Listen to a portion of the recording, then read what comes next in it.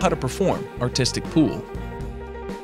Welcome to another episode of the Sports Encyclopedia series, where you can learn about every single game that's ever existed on planet Earth. Today in our Sports Encyclopedia series, we're talking about Artistic Pool, so let's begin.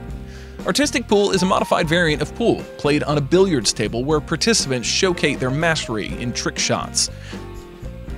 The objective of Artistic Pool is to execute 56 preset shots, each with a varying level of difficulty.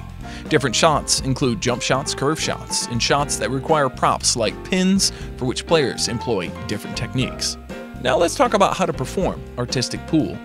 In each game, each shot is assigned a maximum and a minimum point value, which begins from 4 points for the lowest level of difficulty shot and goes up to 11 points for the highest level of difficulty shots. The player plays their shot from a fixed position while following a certain pattern. Each player is given 3 attempts for each preset shot. The maximum points for all the shots is 500. How to win Artistic Pool in the end, the player that has the maximum score wins. Artistic Pool is often played in a knockout format, where the losers keep getting eliminated.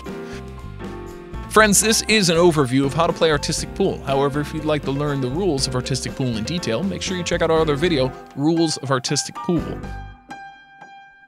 If you like the video, hit the like button, and don't forget to subscribe to our YouTube channel.